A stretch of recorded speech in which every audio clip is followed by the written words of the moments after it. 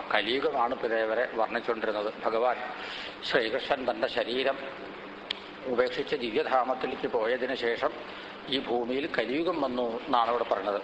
കലിയുഗത്തിൽ ജനിക്കാൻ പോകുന്ന കുറേ ഭരണാധികാരികളുടെ പേര് ഇവിടെ വർണിച്ചു. ഭരിക്കുന്ന ആളുകളെല്ലാം അധർമ്മികളായി തീരും. അപ്പോൾ ഭരിക്കപ്പെടുന്ന സാധാരണ പ്രജകൾ അധർമ്മികളാവും എന്നത് തീർച്ച. അധർമ്മം ചെയ്തു പോവും എന്നല്ല. കലിയുഗത്തിൽ പാപയേയ രമതേ ജന. ഇതാണ് കലിയുഗത്തിന്റെ സ്വഭാവം. പാപം ചെയ്യുക എന്നതാണ് രസം എന്ന ഒരവസ്ഥയിലേക്ക് എത്തും ഇപ്പോ നമ്മുടെ നമ്മുടെ നാടിപ്പോൾ ആ ഒരവസ്ഥയിലാണ്. പാപം ചെയ്യുക എന്നതാണ് രസം. അതിലിങ്ങനെ രസിക്കുക. അടുത്ത കാലത്ത് അഖില ലോക അടിസ്ഥാനത്തിലുള്ള ഒരു സംഘടന എസ് പി സി എന്നാണ് അതിന്റെ ചുരുക്കപ്പേര്. സൊസൈറ്റി ഫോർ പ്രിവെൻഷൻ അങ്ങനെ പോണു. അതിന്റെ ഫുൾ ഫോമൊക്കെ അത് മൃഗങ്ങളുടെ നേർക്ക് മനുഷ്യൻ കാണിക്കുന്ന ക്രൂരതയ്ക്ക് ഒരു തടയിടാൻ വേണ്ടിയിട്ട് കരുണയുള്ള കുറേ ആളുകൾ ഏർപ്പെടുത്തിയതാണ് ഈ സംഘടന.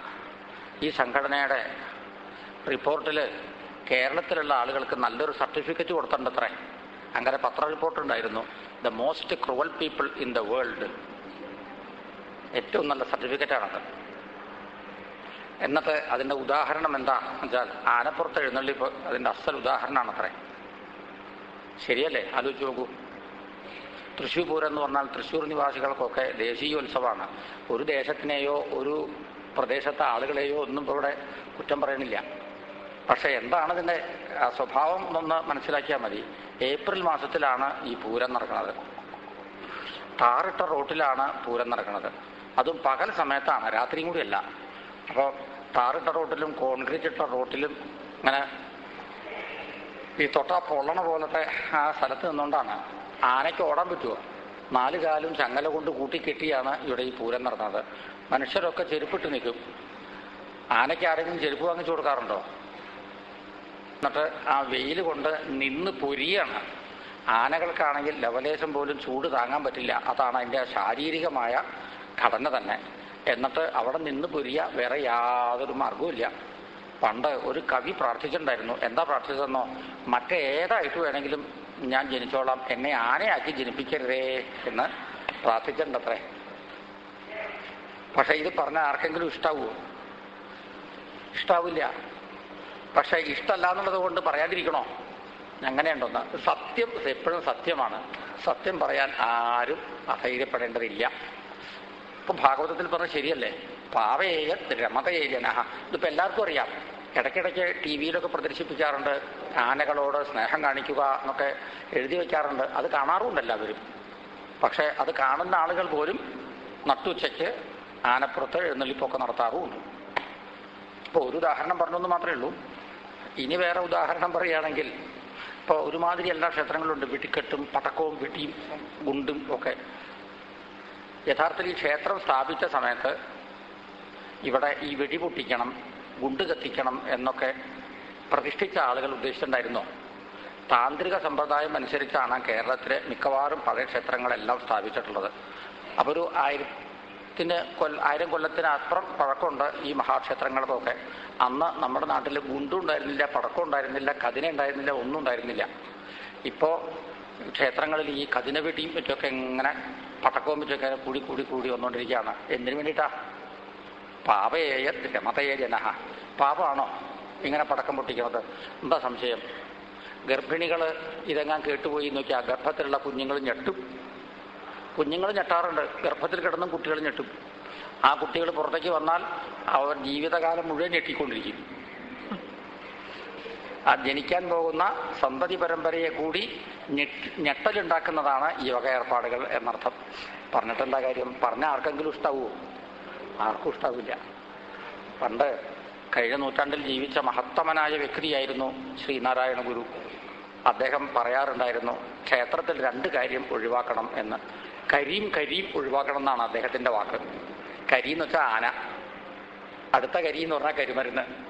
ആനയും വെടിക്കെട്ടും ആവശ്യമില്ല എന്നർത്ഥം ഭക്തിപ്രധാനമായ രംഗത്തിൽ ആനയും വേണ്ട കരിമരുന്നും വേണ്ട. ഇതാണ് അദ്ദേഹം പറഞ്ഞത്. അദ്ദേഹം പറഞ്ഞു എന്നതുകൊണ്ട് ആരെങ്കിലും ഇത് ഒഴിവാക്കിയോ? ഒഴിവാക്കിയില്ല.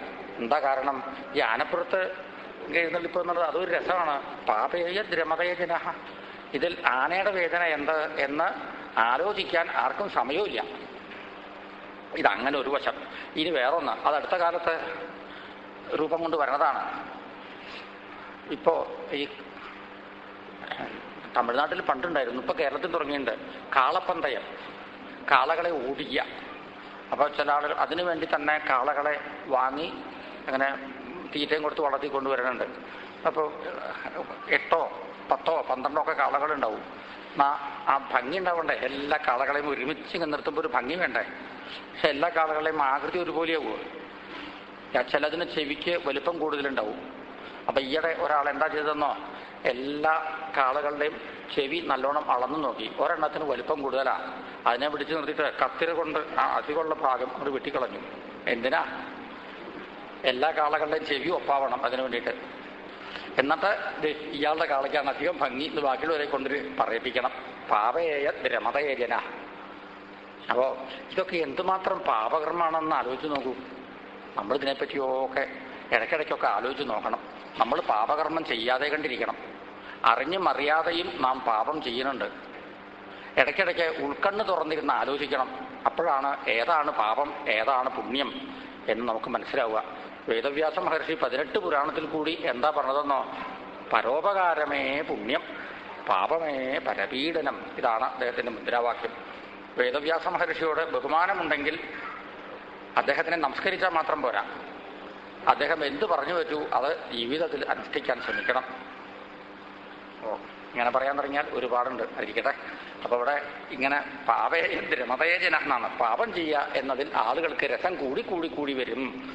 അതിന്റെ മൂർധന്യ ദശയിലെത്തുമ്പോൾ എങ്ങനെയാവും ആളുകൾ അതും ഇവിടെ പറയുന്നുണ്ട്. ഈ ഭരിക്കുന്ന ആളുകൾ ധർമ്മം അനുഷ്ഠിക്കണം. ധർമ്മം അനുഷ്ഠിക്കുന്ന ആളുകളെ പ്രോത്സാഹിപ്പിക്കണം. ധർമ്മം അനുഷ്ഠിക്കാൻ വേണ്ട സൗകര്യങ്ങൾ ഉണ്ടാക്കണം ഇതൊക്കെ അവരുടെ ചുമതലയാണ്. ഭരണാധികാരികൾ തന്നെ അധർമ്മികളായി തീർന്നാലോ? അവ പ്രജകളും അധർമ്മികളായി തീരും. വേണ്ട പോലെ ധർമ്മങ്ങളൊക്കെ അനുഷ്ഠിക്കണം സൽക്കർമ്മങ്ങളൊക്കെ ചെയ്യണം എന്നാലേ ഭൂമിയിൽ ധാന്യങ്ങൾ മുളയ്ക്കുള്ളൂ. കലിയുഗത്തിലെ മനുഷ്യർക്കാണെങ്കിൽ തിന്നാലും തിന്നാലും മതിയാവൂല്ല ഇങ്ങനെയായി തീരും. ഇപ്പോൾ കലിയുഗം തുടങ്ങി എന്നതിന് തെളിവുണ്ട്. നമുക്ക് എങ്ങനെയാണ്? തിന്നാൻ മതിയാവില്ല നേരം വെളിച്ചായാൽ ആദ്യം തീറ്റയാണ്. എന്നിട്ടാ ഉടനെ ഒരു ചായ കുടിക്കുക. പിന്നെ ഇങ്ങനെ ഇടയ്ക്കിടയ്ക്ക് ഇടയ്ക്കിടയ്ക്ക് ചായ കുടിച്ചുകൊണ്ടിരിക്കുക എട്ട് എട്ടര മണിയായാൽ പിന്നെ ബ്രേക്ക്ഫാസ്റ്റ്. പിന്നെ കിട്ടുമ്പോഴൊക്കെ ചായ കുടിക്കുക. ഒരു പന്ത്രണ്ട് മണി ഒരു മണി ആവുന്നത് വരെ ഇടയ്ക്കിടയ്ക്ക് ചായ കുടിച്ചുകൊണ്ടിരിക്കുക ഉച്ചയായാൽ ഊണ് കഴിക്കുക. ഊണ് കഴിഞ്ഞാൽ ഉറങ്ങുക. ഉറക്കം കഴിഞ്ഞാൽ തീറ്റ. തീറ്റ കഴിഞ്ഞാൽ ഉറക്കം. ഇങ്ങനത്തെ അവസ്ഥയിലാണ് ഇപ്പോൾ നമ്മൾ ജീവിക്കുന്നത്.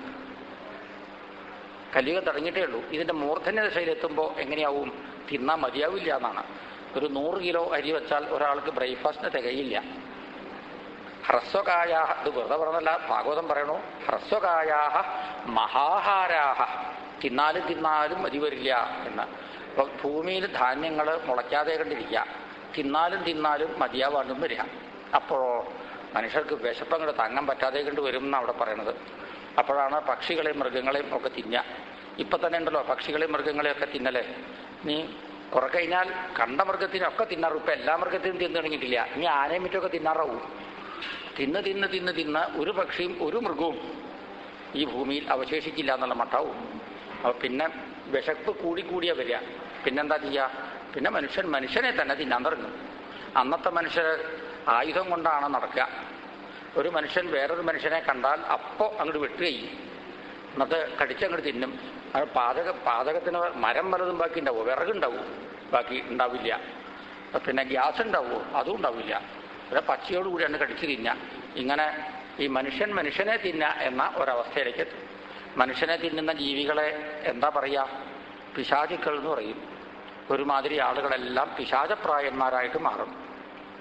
അപ്പം അന്ന് ഈ ഭൂമിയിലെ സ്ഥിതി എന്താവും? നമുക്കിപ്പോ ഒന്നിങ്ങനെ ആലോചിച്ച് നോക്കുക. അപ്പോൾ ഒരു നേരം പോക്കാണത്. എല്ലാവരും പിശാചപ്രായന്മാരായാൽ അച്ഛൻ പിശാജ് മകൻ പിശാജ് ഏട്ടൻ പിശാജ് അനിയൻ പിശാജ് അമ്മാമൻ പിശാജ് മരുമകൻ പിശാജ് ഇങ്ങനെ ആണുങ്ങളൊക്കെ പിശാചിക്കളായിട്ട് മാറും. എങ്കിൽ പെണ്ണുങ്ങളോ? അമ്മ പിശാചി. പിശാചിന്റെ സ്ത്രീലിംഗ പിശാചിയല്ലേ? അമ്മൻ പിശാചി മകളും പിശാചി മരുമകൾ പിശാചി അമ്മായി പിശാചി ഇങ്ങനെ പിശാചുക്കളും പിശാചികളും തന്നെ ആണ് നിറയും അപ്പൊ ആ കാലത്ത് വിവാഹത്തിന്റെ ക്ഷണം എങ്ങനെയാവും നമുക്കൊന്ന് ആലോചിച്ച് നോക്കാം. ബഹുമാനപ്പെട്ട പിശാചിന്. ഇന്ന പിശാചിക്കുട്ടനും ഇന്ന പിശാചിക്കുട്ടിയും തമ്മിൽ ഇന്ന സ്ഥലത്ത് വെച്ച് വിവാഹം നടത്തണമെന്ന് ഉദ്ദേശിച്ചിട്ടുണ്ട്. അതുകൊണ്ട് സ്നേഹം നിറഞ്ഞ എല്ലാ പിശാചുക്കളുടെയും സാന്നിധ്യം ക്ഷണിച്ചുകൊള്ളുന്നു. ഇപ്പോ ഇത് കേൾക്കുമ്പോൾ നമുക്ക് ചിരി വരുന്ന മാത്രമേ ഉള്ളൂ. ഭാഗവതം പറയാണ് സർവേ പിശാചസന്തരിഷാഹ ഭവിഷ്യന്തി കലഹൂജന.